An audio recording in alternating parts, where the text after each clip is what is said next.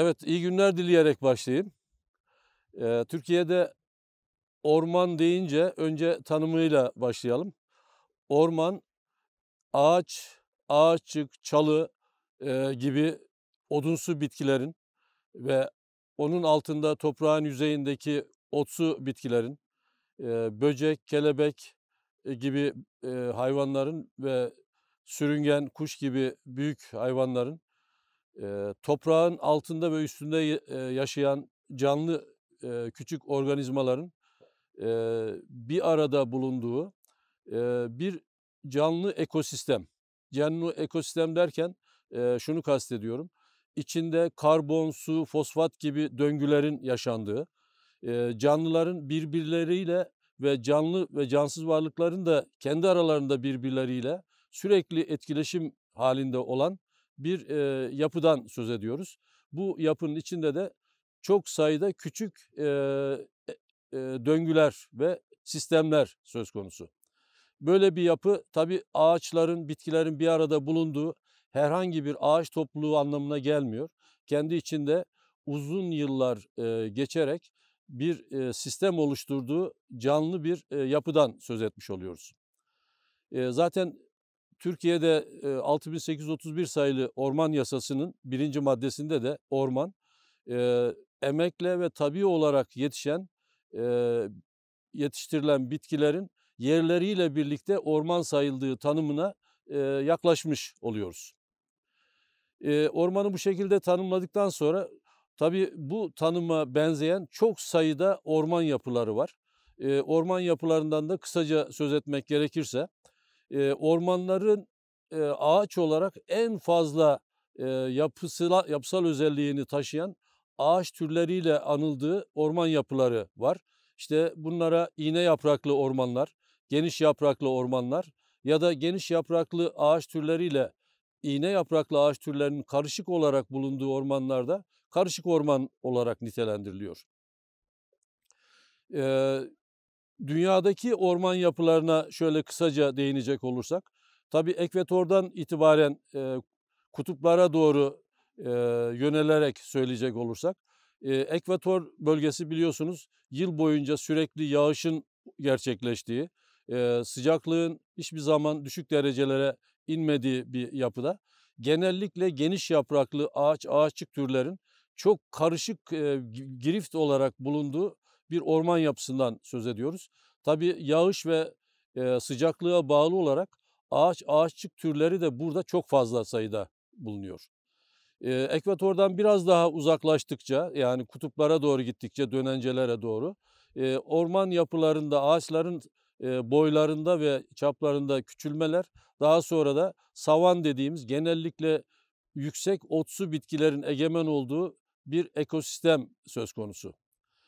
E, bu bölgeden daha sonra da subtropik diye adlandırılan artık Türkiye gibi e, Akdeniz çevresi gibi bölgeleri gözümüzün önünde tutarsak e, yarı ılıman bölge dediğimiz bu bölgede de Akdeniz bölgesinde örneğin Toroslarda genellikle iğne yapraklı ağaçların egemen olduğu orman yapıları görüyoruz.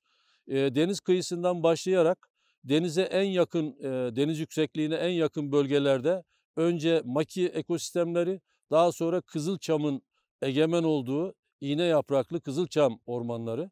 Biraz daha yükseklere 600, 700, 800 metrelerden sonra ise e, Kızılçam'ın içine yavaş yavaş Karaçamların karıştığı 1000 metreden sonra da Karaçam ormanı, daha sonra Sedir ormanı ve daha yükseklere çıktıkça da e, ardış türlerinin egemen olduğu orman yapılarını görüyoruz.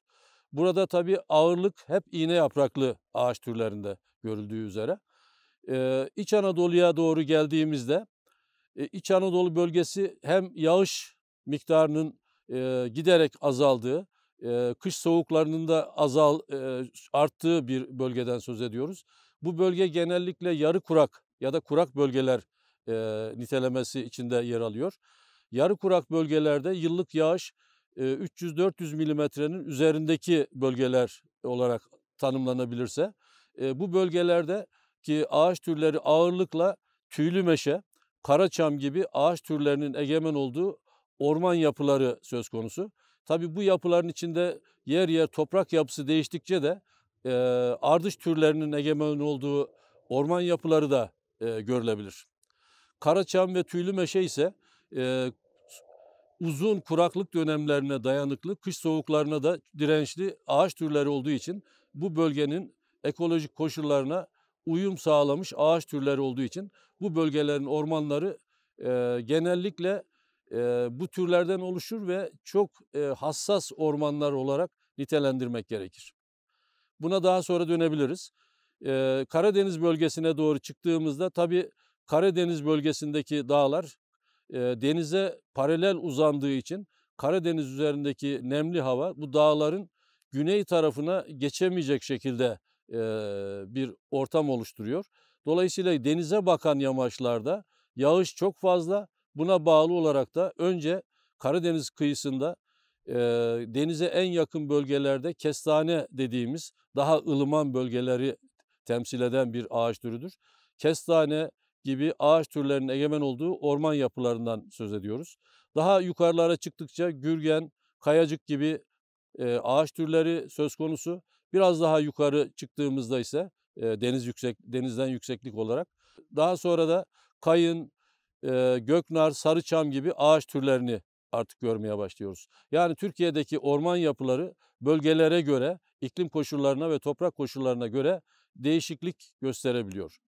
Türkiye'de çok farklı bir orman yapısı olarak da Doğu Karadeniz bölgesinde e, serin geniş yapraklı orman olarak adlandırılan işte Artvin, Rize, Trabzon'un bir bölümü gibi bölgelerde genellikle geniş yapraklı ağaçların e, kayın, gürgen, akçaağaç gibi ağaç türlerinin egemen olduğu e, yaprak döken ormanlar söz konusu. Ama bunun nedeni de e, iklimin uygun olması ve Karadeniz bölgesinde, Doğu Karadeniz bölgesinde hemen hemen yıl boyunca bir ayın dışında 10-11 ay yağış düşmesi ve çok fazla yağışın e, burada gerçekleşmiş olmasına bağlı olarak böyle bir orman yapısı e, söz konusu olabiliyor. Tabii orman yapılarına bağlı olarak da insanların ormanla ilişkileri ya da e, o insanların toplumun e, toplumu yöneten devletlerin ormancılık politikaları da bu orman yapılarına göre değişebiliyor. Türkiye'deki orman yapılarını böyle kısaca özetledikten sonra isterseniz kısaca bir de Avrupa'ya geçelim. Gerçi Avrupa'ya geçmeden önce şunu da söyleyelim. Türkiye'deki şu anda Türkiye ormanları 22,3 milyon hektar genişliğinde ve Türkiye yüzeyinin e, %28'ini oluşturuyor.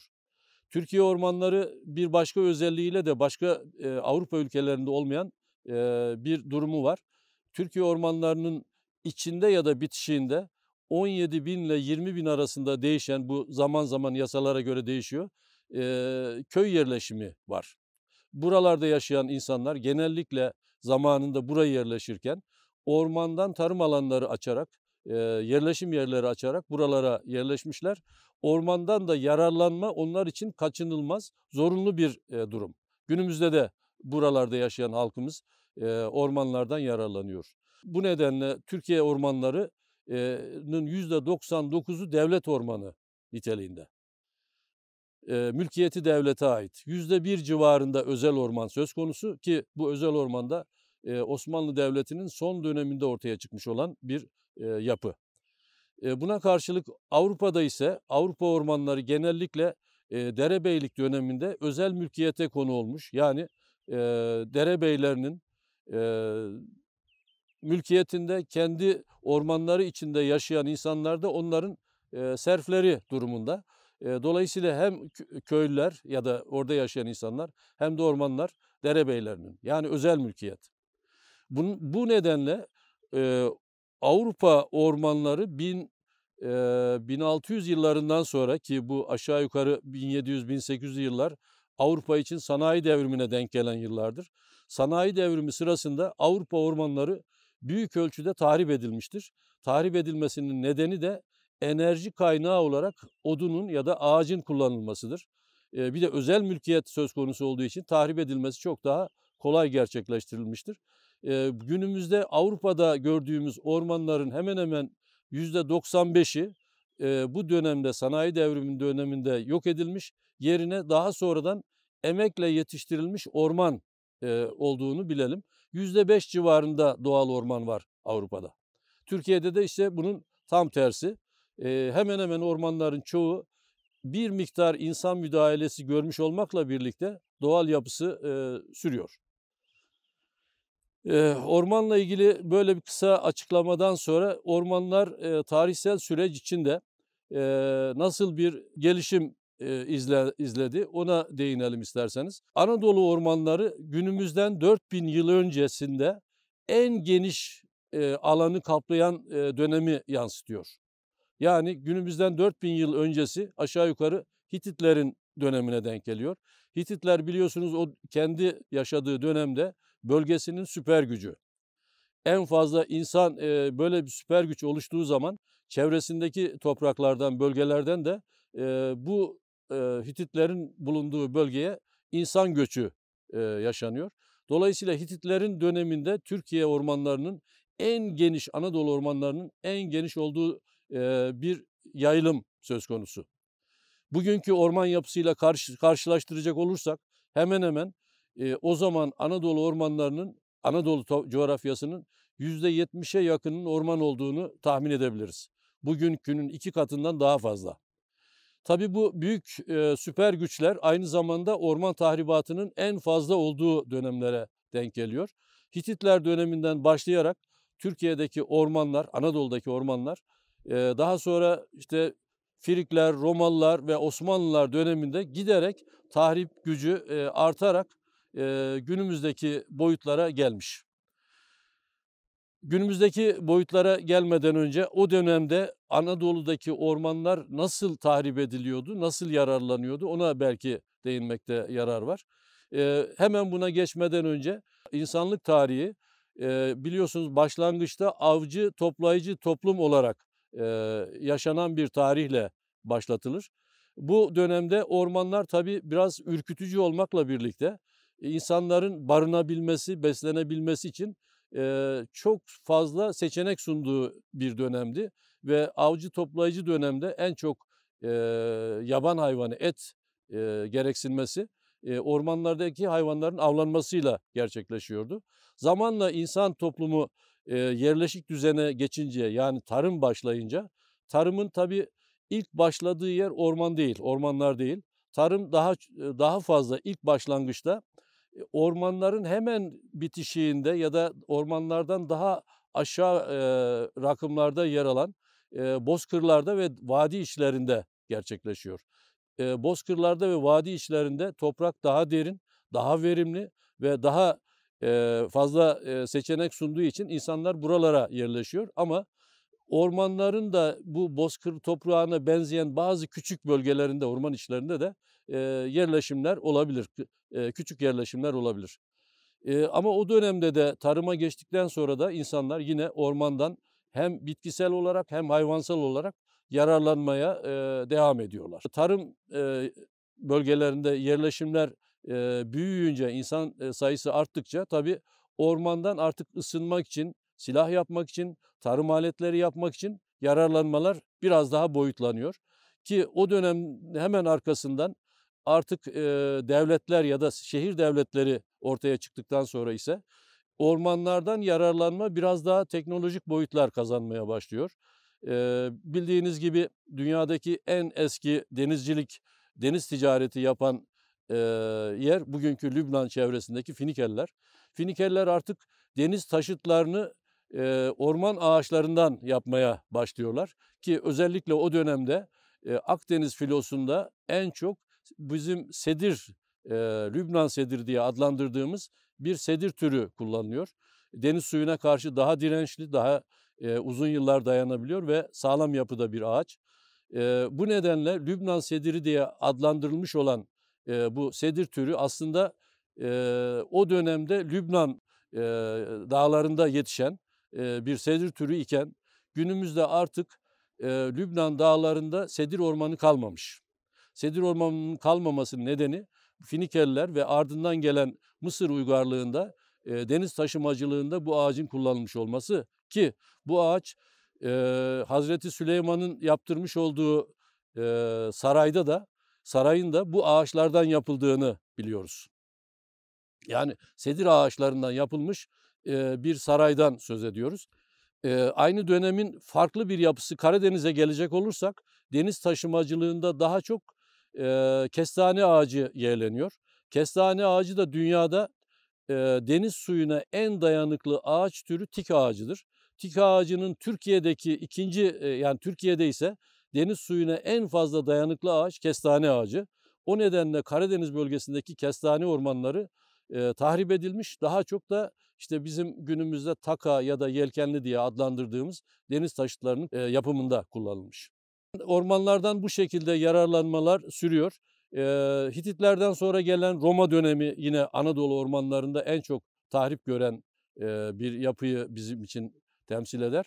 Örneğin bizim şu anda bulunduğumuz yer Ankara. Ankara'nın 30 kilometre güneyinde kuş uçuşu olarak söylüyorum. Beynam Ormanı diye bir orman var bildiğiniz gibi. Bu ormanın 1500'lü yıllarda 40 bin hektar civarında olduğunu öğrendiğimiz bu orman günümüzde 1600 hektar büyüklüğünde.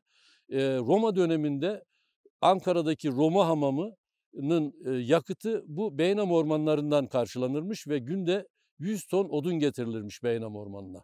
Dolayısıyla Beynam ormanının tahrip edilip bugünkü kalıntı küçük bir orman haline getirilmesinin e, ana nedenlerinden birisi Romalılar ve onun arkasından gelen Osmanlı döneminde bu ormanlardan yakıt olarak yararlanılması diyelim. E, orman yapılarını ve ormandan yararlanma e, deyince bu bölümü e, şöyle bir virgül koyarak başka bir alana geçelim. E, Osmanlı döneminde ormanlar e, Osmanlı döneminin e, toprak yapısı ve yönetim biçimi açısından e, devletin ormanları. Yani Tanrı adına Tanrı'nın yeryüzündeki gölgesi padişahın e, ormanı sayılıyor. Osmanlı Devleti'nin kendisi için çok özellikli önemli ormanlar seçildikten sonra ki bu çok özellikli önemli dediğimiz şey Tophane'nin, e, Bahriye'nin yani deniz gücü, deniz kuvvetlerinin ve sarayın ısınması, İstanbul'un ısıtılması için kullanılacak ormanlar e, belirleniyor, seçiliyor. Diyor, deniyor ki buralardan hiç kimse e, yararlanmayacak. Çevresindeki yerleşim alanları için söylüyorum. E, burası e, Osmanlı Devleti'ne tahsis edilmiş orman. Onun dışında kalan ormanlar da o dönemde cibalı mübaha yani serbest yararlanılan ormanlar e, olarak adlandırılıyor. Yani o ormanların çevresinde yaşayan biraz önce sözünü ettiğimiz 17 bin ya da 20 bin dolayında orman köylüsü ya da diğer yakındaki e, e, köyler ya da yerleşimler kendi gereksinmeleri olan ısınma için odun ya da yapı malzemesi olarak bu ormanlara gidip istedikleri gibi kesip getirip yararlandığı dönemden söz ediyoruz. Aynı dönemde biliyorsunuz biraz önce Avrupa ormanlarından söz etmiştik. Avrupa'da derebeylerin ormanları var. Derebeyi nasıl uygun görürse o şekilde yararlandırır ya da satar. Arkasından gelen o sanayi devriminde ise döneminde ise ormanlar tahrip edilmiş. Osmanlı'ya aynı dönemde geliyoruz. Osmanlı artık 1700'lü yıllardan sonra özellikle Osmanlı'nın zor durumda olduğu dönemdir biliyorsunuz. Osmanlı artık her şeyiyle Avrupa'daki büyük devletlerin etkisi altındadır, güdümü altındadır. Onların söylediklerini yapmak zorunda kalma, kalmaktadır. Çünkü ekonomik olarak ve askeri olarak çok gerilerde kalmıştır. İşte zaman zaman Fransa'nın, zaman zaman İngiltere'nin, zaman zaman Çarlık Rusyası'nın etkisiyle bazı şeyleri yapmak durumunda kalır ki 1800'lü yıllara gelince işte bizim Tanzimat dönemi dediğimiz, ıslahat dönemi dediğimiz, meşrutiyet dönemi dediğimiz dönemlere gelinir. Bu dönemde artık ormanla, ormanın yönetimiyle ilgili de kararlar alınmaya başlanır. bildiğiniz gibi Türkiye'deki kamu kuruluşları da hemen hemen 1800'lü yılların ortalarından itibaren kurulmaya başlanır. Türkiye'de işte ormanı e, yönetmek için, e, ormanda müdahaleleri yapmak için e, Ormancılık Okulu da bu dönemde 1857 yılında açılır. Orman Genel Müdürlüğü 1839 yılında açılır derken bu örgütler kurulmaya başlanır. Artık ormanlardan yararlanmayı e, belirli kurallara bağlamanın e, başlangıcıdır bu. Daha sonra e, arazi kararnamesi, e, kanunnamesi ve daha sonra da orman nizamnamesi gibi ormanlardan yararlanmayı belirli standartlara, belli kurallara e, bağlamaya çalışılır.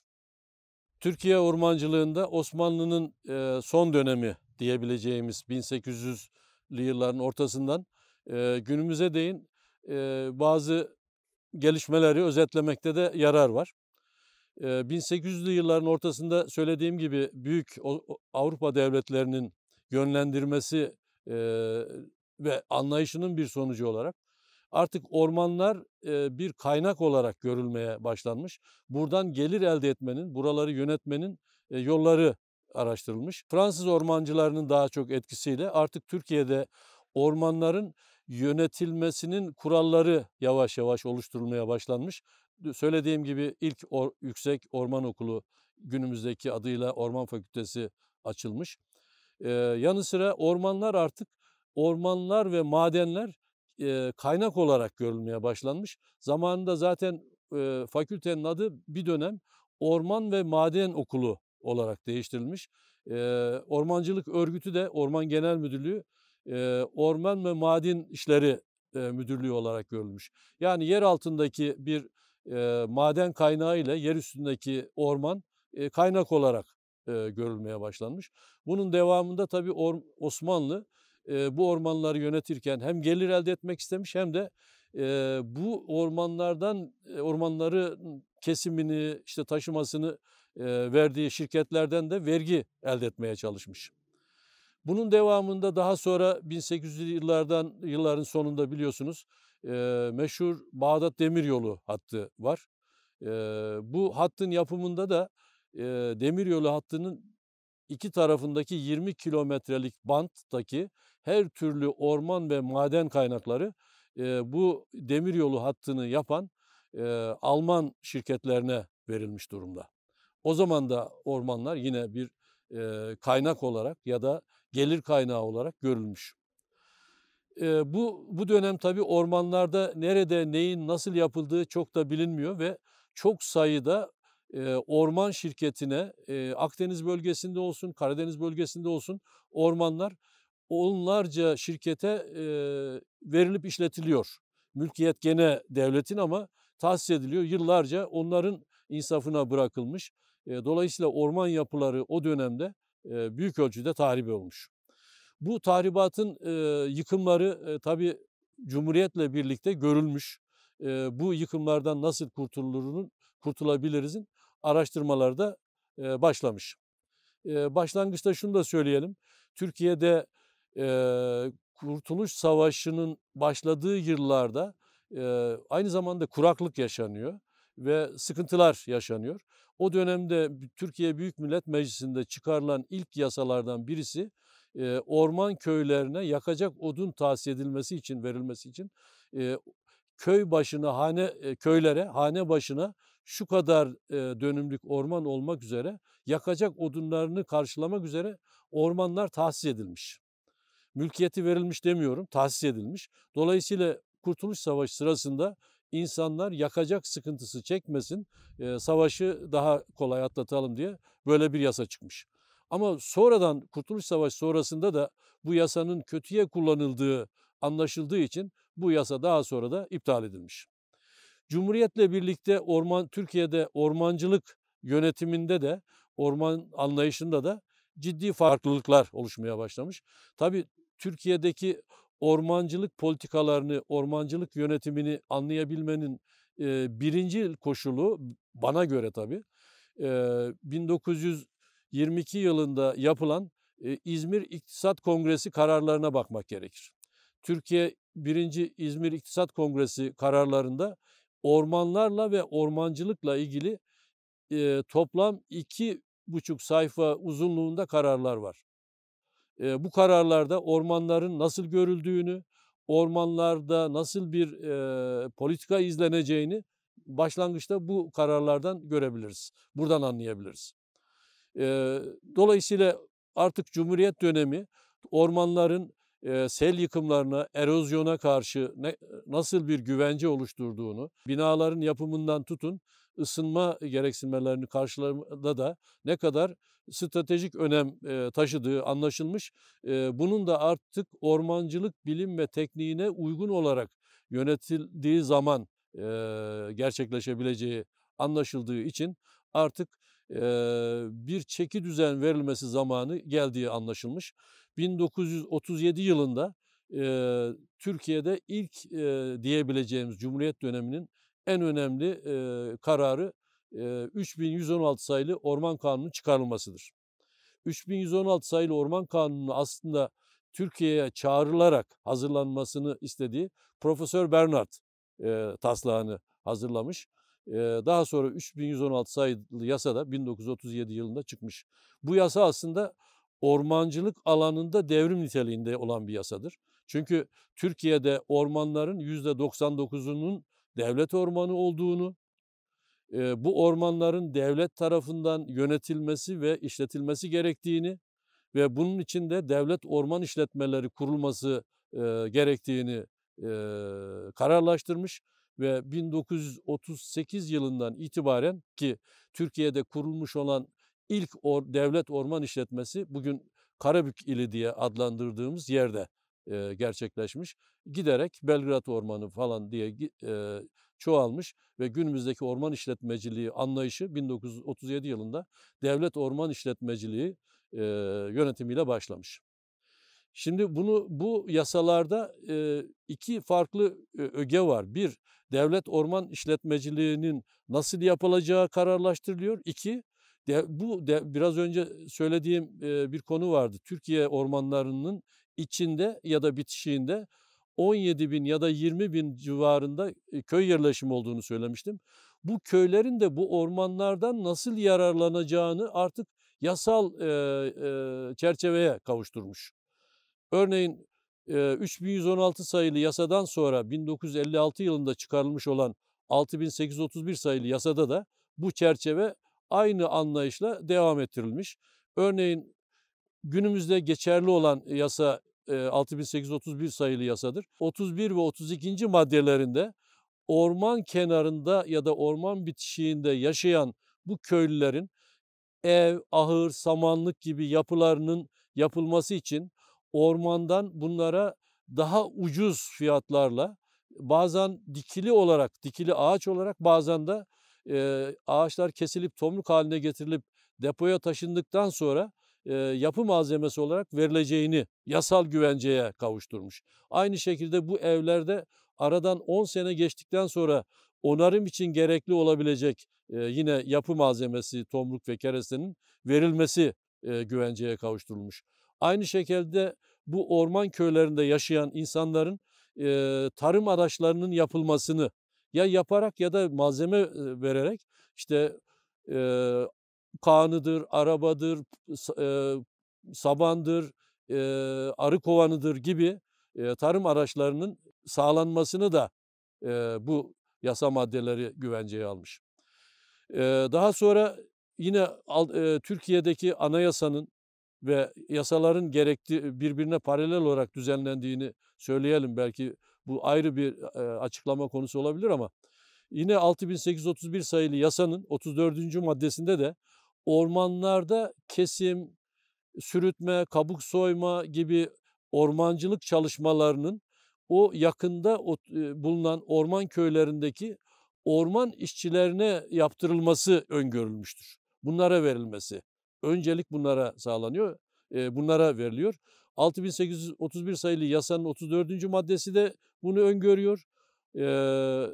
1982 Anayasası'nın 170. maddesi de bunu öngörüyor.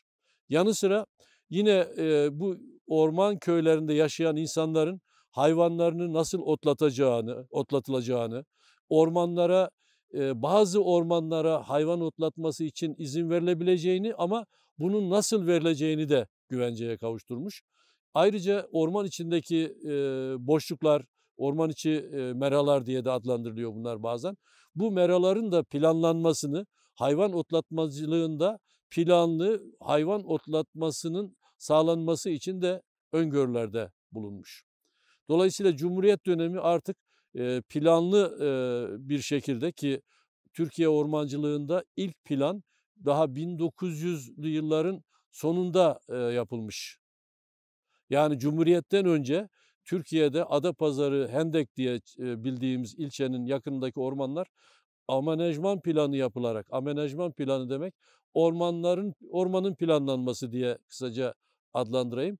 Cumhuriyet öncesinde başlanmış olan bu amenajman planları Cumhuriyet döneminde de artık e, yasal bir planlama e, sürecine e, girmiştir.